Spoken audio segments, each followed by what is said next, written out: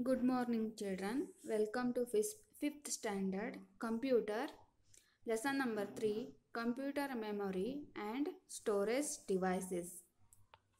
Lesson number three computer memory and storage devices. Page number 19. In this lesson, we will learn about memory storage, units of memory, and types of memory. What is the memory? Memory is a memory. Uh, memory help helps you to remember the things, and it will store the information, isn't it? Okay. Your brain help us to remember things. It stores the information and help us to recall whenever you need. In a very similar way, computer also have memory which enables them to store the instructions and information.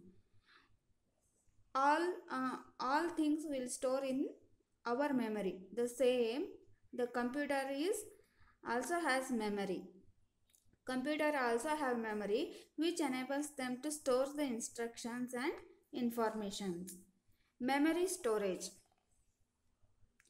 computer stores the data and instructions in the form of binary digits. Binary digits 0 and 1 Uh, these two digits are used in programming language called binary language. This language is called as binary language. Next units of memory.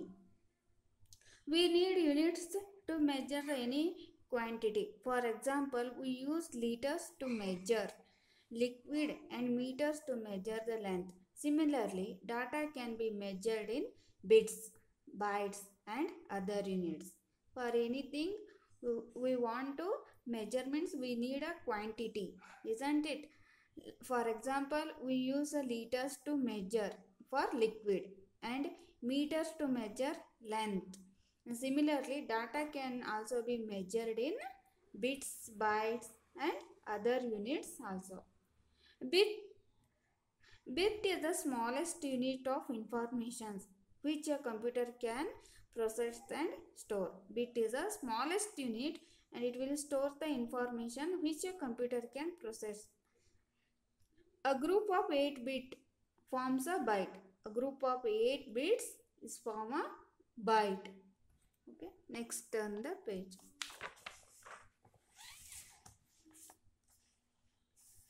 higher units of memory 1 kb is equal to 1020 24 bytes 1 mb is equal to 1024 kb 1 gb is equal to 1024 mb 1 TB is equal to 1024 GB.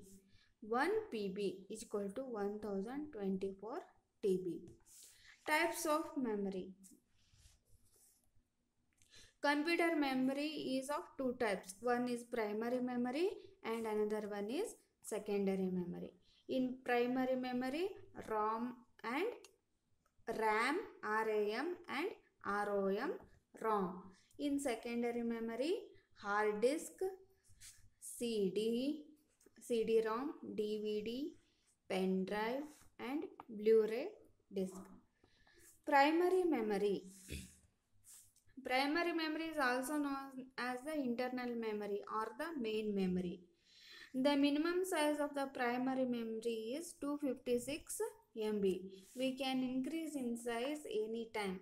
Primary primary memory is two types. One is read only memory and random access memory.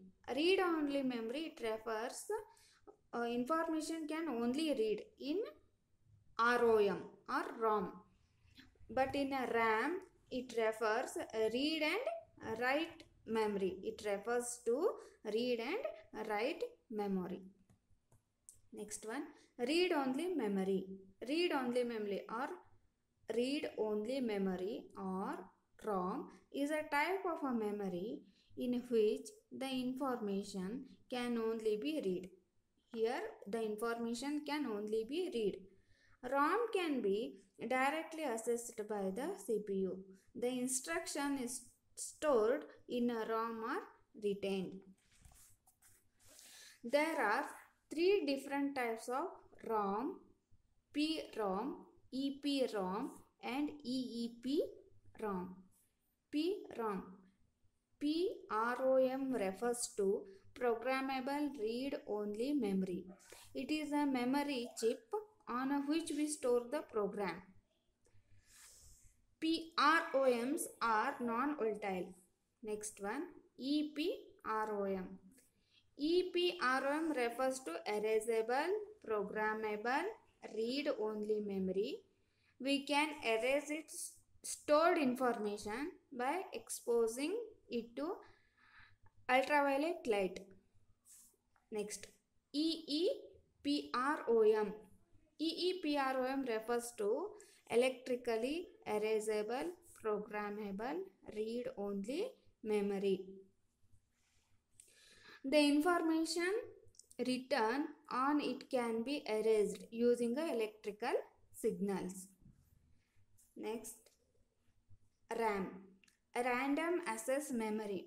It refers to read and write the memory. We can read the information, information from it as well as write, store the instructions on it. What is the use? What is the difference between a read-only memory and RAM?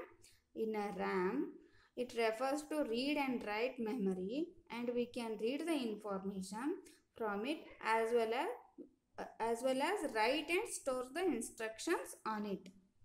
In RAM, the memory stores the information in the form of electric signals. The information can be stored in the form of electric signals.